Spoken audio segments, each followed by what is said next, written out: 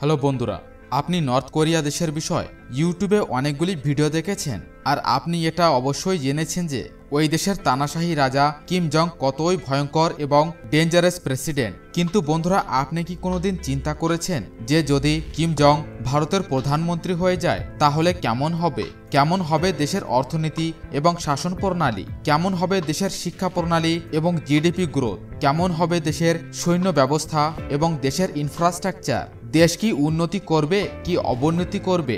সারা বিশ্বের সামনে কি ভারতবর্ষ সম্মানের সঙ্গে দাঁড়িয়ে থাকতে পারবে? প্রশ্নগুলির উত্তর অবশ্যই কমেন্ট বক্সে দেন।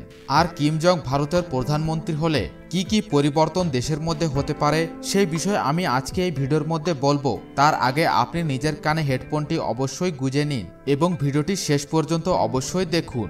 আমি যে বিষয় বলতে যাচ্ছি এই বিষয়ে আজ পর্যন্ত ভিডিও তৈরি করা হয়নি। হ্যালো বন্ধুরা, আমি যদি কথা বলি ইংরেজি ক্যালেন্ডারের বিষয়, তাহলে দু হাজার উনিশ সালের অনুসারে কিম জং ভারতবর্ষের প্রধানমন্ত্রী হলে ভারতবর্ষে একশো সাত বছর শুরু হবে। কারণ নর্থ কোরিয়া দেশের নিজেদের আলাদা আলাদা ক্যালেন্ডার রয়েছে, যেটি এই দেশের পূর্ব তানাশাহী রাজা কিম জে উলের জন্মতিথি পনেরোই এপ্রিল উনিশশো বারো সালের পর আধারিত রয়েছে। আর প্রতি বছর যদি ইলেকশন হয়, তাহলে একটি বিকল্প থাকবে, সেটি শুধুমাত্র কিম জং। আর একশো পার্সেন্ট ভোট শুধুই মাত্র তানাশাহির কাছেই যাবে। দ্বিতীয় কোনো অপশনসই নেই। আর প্রত্যেকবারে কিম জংই জিতবে। আর নরেন্দ্র মোদী দেশের প্রধানমন্ত্রী হবে বলে এই কথাটি আপনি ভুলেই যান। আর কি কি হবে? আমাদের রাস্তায় আরটিএর দ্বারা নির্দেশ দেওয়া হয় যে, মোড়ের পর ট্রাফিক সিগন্যালের পালন করতে হবে। আর কিম জংয়ের সরকার যদি ভারতে আসে, তাহলে সব সিগন্যালগুলিই হেঁটে যাবে। রাস্তায় কোনো সিগন্যালই থাকবে না। আর যদি আপনি সিগন্যালের উল্লঙ্ঘন করেন, তাহলে তো আপনার সারা জীবনটাই জেলের ঘানি কাটতে হবে। আর এর এফেক্ট পর্যন্ত আপনাদের পরিবারের লোকেদের ভুগতেও হতে পারে। আর যে দোষ করবে, তার তিন পূর্বপুরুষ পর্যন্ত সাজা কাটবে। এই ফটোর মধ্যে যে হারমোনিয়ামের মতো ইনস্ট্রুমেন্টটি দেখা যাচ্ছে, সেটি হচ্ছে আকাডিয়ান তা যদি তানাশাহী রাজা ভারতবর্ষে আসে, তাহলে এই ইনস্ট্রুমেন্টটি কি করে বাজে এবং কি করে বাজাতে হয়, সেটি সব মাস্টারদের শিখতেই হবে। সাথে সাথে স্টুডেন্টদেরও এই ইনস্ট্রুমেন্টটি বাজাতে শিখাতে হবে। আমাদের বাড়িতে ধারাবাহিক চ্যানেল সোনি টিভি কালার্স বা অন্য নানান চ্যানেলগুলি যদি না আসে, তাহলে আমাদের মাথাটাই খারাপ হয়ে যায়। কিন্তু কিম জংয়ের সরকার যদি ভারতবর্ষে আসে, তাহলে শুধুই মাত্র তিনটি চ্যানেল থাকবে আপনার টিভিতে একটি চ্যানেলে খবর চলবে শুধু কিম জংয়ের বিষয়, আর দুটি চ্যানেলে শুধুই মাত্র একটি দুটো কার্যক্রম হবে। সেটি কখন তারও কোনো সময় নির্ধারিত নেই। আপনি শুধু টিভিতে ওইসব কার্যক্রম দেখতে পারবেন, যেটি ওই দেশের সরকার আপনাকে দেখাবে। যদি কোরিয়ান সরকার ভারতে আসে, তাহলে আপনার রেডিওর আওয়াজগুলি অনেক বেড়ে যাবে এবং বাড়িতে লাউড স্পিকার রেখেই চিৎকার চিৎকার করেই রেডিওর নিউজ শুনতে হবে। আপনি ইচ্ছা করেও রেডিওর লাউড স্পিকার বন্ধ করতে পারবেন না।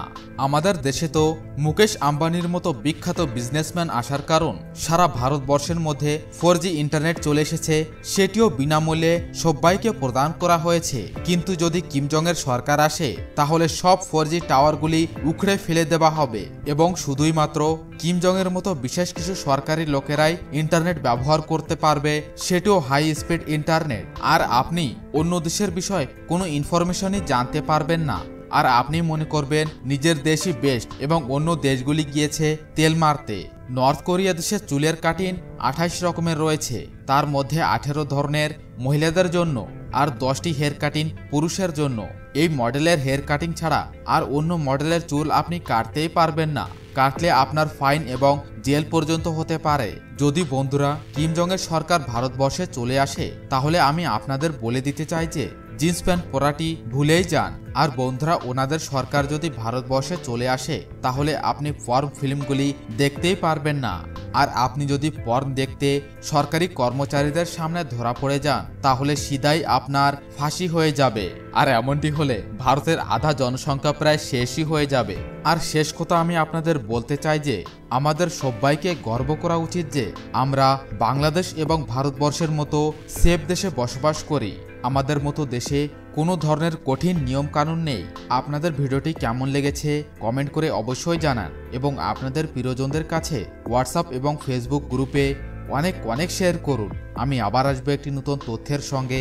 ততক্ষণ পর্যন্ত সুস্থ থাকুন, সুখে থাকুন। ধন্যবাদ।